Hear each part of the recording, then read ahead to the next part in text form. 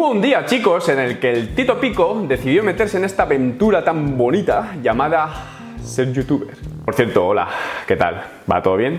¿Eh? ¿El corazón de, de ella? Nada, ¿no? Bien. Yo me abrí un canal de YouTube sin demasiadas pretensiones, que es como hay que empezar en YouTube, sin muchas expectativas, sobre todo económicas. La cosa es que con el tiempo pues me fue gustando y aquí estamos. La cosa es que cuando tú empiezas, empiezas siendo muy perezoso. A lo mejor subes un vídeo cada 15 días y tú te crees que lo estás dando todo, como que es mucho trabajo. Y así no creces una puta mierda. Y hasta que no coges el hábito, como casi todo en esta vida, pues te va dando pereza absolutamente todo. Por aquel entonces yo solo tenía YouTube, no tenía ni Instagram, ni Twitter, ni Facebook. Tenía Facebook, pero personal, ¿no? El típico, el, el, Asier. Varios amigos míos en aquel momento me dijeron, Pico, no, en verdad me llaman Asier. Si quieres crecer en YouTube, tienes que darle caña a todas las redes sociales. Sin excepción. Y yo, como no tenía el hábito, venga, hombre, pero ¿qué me estás contando? Anda, si lo estoy dando todo, subo un vídeo cada 15 días o cada mes. ¿Cómo voy a trabajar tanto y voy a tener que alimentar tantas redes sociales si me da un montón de pereza hacer un puto vídeo? Eso decía yo. La cosa es que con el tiempo entré en razón y me creé Instagram, Twitter, dos cuentas más que se sumaban a YouTube para crear tres cuentas a las que alimentar. Puta pereza. Con el tiempo me fui dando cuenta de que me gustaba más Instagram que Twitter, por lo cual Twitter lo abandoné. Instagram tampoco es que lo alimente mucho, quizás me tiro días sin subir a ninguna historia y meses, meses sin subir ninguna foto de mi calva. Me sirve sobre todo para comunicarme con vosotros por mensajes privados muy perturbadores. También por Instagram, pues aviso cuando subo un vídeo, oye picos, he subido un vídeo. Y así os enteráis por si no os avisa la campanita YouTube va tan mal y todas esas cosas que dicen los corbachines. Hablar por privado con vosotros, en general, en general, está muy bien porque aportáis ideas, sugerencias para próximos vídeos. Otras veces tenemos conversaciones muy filosóficas y arreglamos el mundo o el fitness. Y otras veces, pues me ponéis la cabeza así, como un puto bombo. Pero en general está muy bien. Con lo cual, seguidme por Instagram y nos hacemos amigos. Quiero amigos, no tengo amigos. Resumiendo, la cosa es que yo era un señorcito de 30 años que prácticamente no tenía redes sociales salvo su Facebook personal que no lo usaba casi nunca y de repente me adentré en este maravilloso mundo de las redes sociales donde la gente crea vidas paralelas e imaginarias y entonces empecé a convivir un poco con la fauna que allí habita. Cuando te metes a convivir con esa fauna, yo como persona muy observadora, pues observo, algo que cabía esperar de una persona observadora. Al observar te das cuenta de ciertos patrones que se repiten y cuanto menos son curiosos y perturbadores algunos. Así que después de recabar información en mi pequeña experiencia, inauguro el vídeo de las tres cosas que odio de las redes sociales. Sin duda, lo que más odio, lo que menos soporto. Dios sabe que me cuesta aguantarlo, que me cuesta aguantarlo más que, que a veces aguantarme a mí mismo. Y mira que yo soy insufrible, ¿eh? que me cuesta muchas veces aguantarme. Lo que más odio son las malditas frases motivacionales. Es que las odio, no puedo con ellas que salen hasta en la sopa. Tú estás comiendo una sopa y en el fondo del plato todavía habrá uno que te escriba una puta frase motivacional. No la soporto, me están quitando vida, porque hay personas que se creen que tienen el maldito secreto de la felicidad humana. ¿Por qué se lo creen? Porque si la gente sacase conceptos de psicología, teoría de la psicología, lo extrapola una frase un poquito más cotidiana, más entendible para la inmensa mayoría. Pues esa frase seguramente pueda aportar, pueda aportar valor, pero no las putas frases motivacionales de mierda, copia y pega, vacías, cortadas por el mismo patrón. En general todas son un poco cacas, pero chicos, creedme, y esto os va a dar miedo, mucho miedo. En 2019 hay personas que todavía siguen poniendo no pain, no gain. En 2019. No pain, no gain se creerán originales, nadie la ha dicho en 2019. Esa frase no molaba, lo siento mucho, no molaba ni cuando surgió. Pero es que decirlo en 2019 es motivo suficiente para buscar a esas personas y por favor, que no se reproduzcan. Lo más gracioso es que cuando tú creías que no puede salir una versión 2.0 de estos seres de inframundo, pues sí puede salir. Salen los listillos de clase que cogen el no pain no game, lo modifican a lo listos, a lo pedantes y le ponen ah, no brain, no gain. A esos matadlos también. Después, entre esta maravillosa fauna también hay unos sujetos, fenómenos, que se cogen, se van a Google, deben poner en el buscador frases motivacionales de mierda, la cogen, copia y pegan y la ponen en su texto, a ver si cuela, a ver si nadie se da cuenta de que yo no me la he inventado. A esos que no se reproduzcan, por favor. Después tenemos a los que se salvan un poco. Vienen a ser como poetas, ¿no? Nacieron para ser poetas, pero se equivocaron de época. Nacieron unos siglos después. Entonces en esta época ya no se lleva tanto eso. Personas que escriben sus propios textos, que los redactan bastante bien, oye, van, van de poetas, poetas fitness, pero ¿cuál es el problema? Que suelen ser muy pesados, pero muy pesados. No pueden subir una foto sin decir nada. No, en todas las putas fotos tienen que decir algo. ¿Y qué les pasa? Que incurren en el mismo delito, que es el de creerse que tienen el paradigma de la inmensa felicidad humana. Es que se lo creen. Como ya sabéis chicos que me gusta ilustrar mis palabras, os voy a poner un ejemplo práctico. Os voy a poner de ejemplo a mi amigo Antel, que por cierto, no quiero ser o pecar de infantil, pero si tú coges las letras que componen Antel y cambias el orden, te sale Mantel. Lo siento. Oye, igual soy un genio. Tengo que señalar que aunque sea ácido, capullo, gilipollas y un cabrón, o sea, yo hablo de mí, este chico me cae bien, ¿vale? Le conocí en persona y me parece buena persona. Incurre en el delito de que se cree que tiene el secreto de inmensa felicidad y lo tiene que señalar constantemente. Bueno, pues en una foto suya donde busca luces sanas y una buena congestión previamente, que capullo soy, ya lo sé, pone tanto el miedo a la derrota como las ganas de victoria pueden motivarte. Utiliza ambas a tu favor. Vamos. Las ganas de victoria pueden motivarte, pero si sabes encontrar combustible y fuerza en el miedo a perder, nada va a detenerte. Encuentra fuerza en el miedo a que te atropelle un tren y verás como cuando golpee contigo el tren descarrila. Por cierto, que nadie vaya a una vía del tren, ¿eh? Me cago en la puta. Coge el viento que impulsa tus sueños. No, eso es cosa mía. Coge el viento que sopla en tu contra, ajusta tus velas y haz que ese viento que estaba en tu contra ahora vaya en tu misma dirección. Vamos a ver, Antel. El viento sopla en una dirección. Si tú ajustas tus velas y el viento venía en dirección contraria, si las ajustas a favor del viento, si tú ibas hacia allí, cambias de dirección.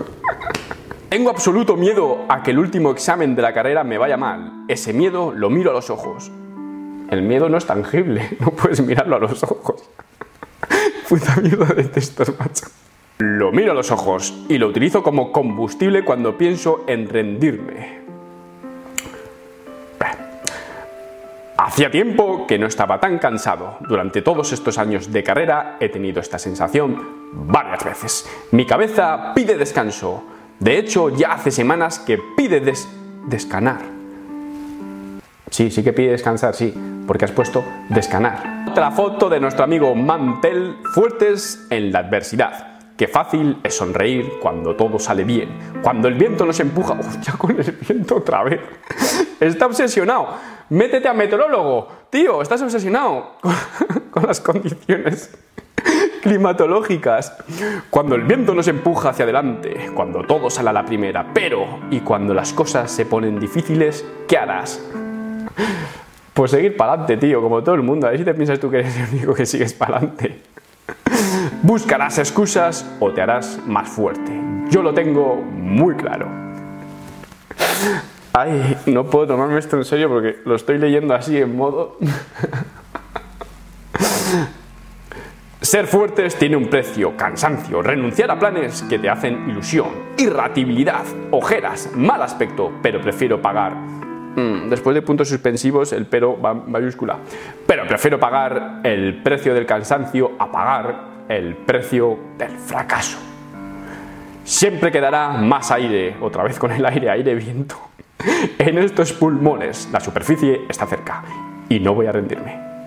O sea, eso de la superficie está cerca es como una persona que la han enterrado viva y está excavando para salir, ¿no? Bien, Antel, bien. Es que eres un poeta. La segunda cosa que odio en las redes sociales es la siguiente. ¿No habéis visto alguna vez, chicos, nombres muy comunes, como yo que sé, Antonio?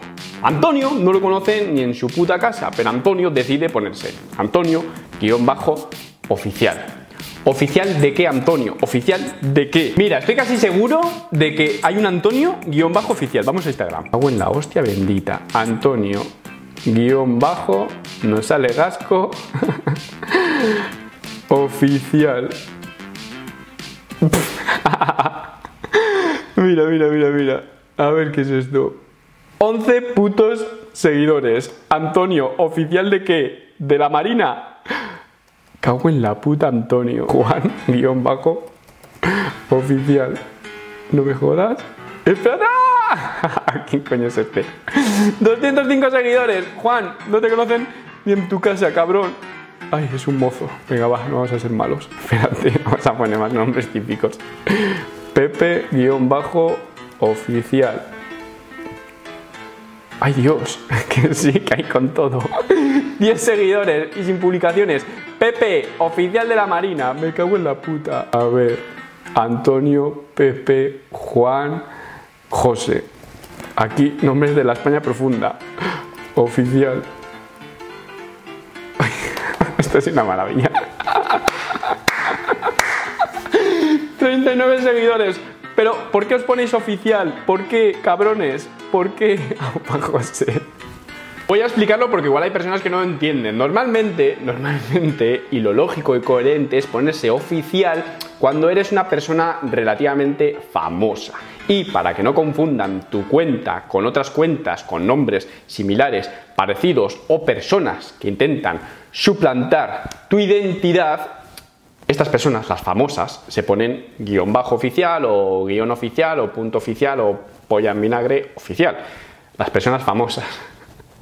Pero es que Instagram o las redes sociales está lleno de personas que son mozos, que 20, 30 seguidores se ponen oficial como para otorgarse alguna especie de, aura de, de celebrity, ¿no? No sé por qué lo hacen. La tercera y última cosa que odio es la siguiente. Dentro de esta maravillosa fauna que habita con nosotros en las redes sociales, hay ciertas personas, normalmente del género femenino, ahora llamadme si queréis opresor y machirulo, que se hacen unas fotos un poco peculiares. Básicamente, mmm, objetos, comidas, les, hace, les, les hacen reír, les hace gracia. Me explico. Si hacen fotos 100% real, no fake, en la que no hay postureo alguno, no es una foto premeditada, y ponen el temporizador. y salen con una ensalada y, sonriendo, o casi riéndose como si esa maldita ensalada hiciera monólogos. Y se hacen la foto, ¿no? Es que es una maravilla. A veces es una ensalada, otras veces es un, bol con, con, cereales o avena o yo qué sé, pollas fitness. Y otras veces, pues, objetos la cosa es que objetos y comidas les hacen reír. Qué felicidad, macho. O sea, todos convivimos con el postureo. Hasta yo he caído en cierto nivel de postureo, pero yo básicamente intento salir agraciado en las fotos y por eso me esfuerzo. Pero es que esto ya de salir riéndote con una ensalada, en plan, somos los mejores amigos del mundo, la ensalada y yo, es que es otro nivel ya, ¿eh? que esto es otro nivel. Lo peor de todo es que tú, imagínate que te echas unas amigas influencers, ¿no? Por Instagram. Claro, tú cuando comienzas la amistad con una persona, pues tampoco la investigas. La empiezas a coger cariño, la empiezas a coger aprecio, y un día fortuitamente te das cuenta de que esta persona, la cual es tu amiga ya, pues tiene fotos de este estilo. ¿Y qué haces? ¿Las tiras al río? Pues no, porque te meten a la cárcel. Esta es, chicos, mi amiga Diana Headfit, una persona con la que comparto bastantes valores, la cual me ha ayudado bastante en esta dura vida de influencers. Y aquí descubrí esta maldita foto, la cual me tiene que dar las correspondientes explicaciones por qué un café mañanero es tan gracioso. ¿Por qué, Diana? ¿Por qué? No lo entiendo. No entiendo. ¿Qué te está contando? ¿Qué te está diciendo ese café? Foto 100% real, no fake. Eh, curiosamente ha coincidido la foto en el momento de lanzar la pastillita y justo el gato le está contando un chiste con los ojos. Que no sé si está mirando el ordenador o al gato. A la gata, perdón. Vamos a llamar a Diana.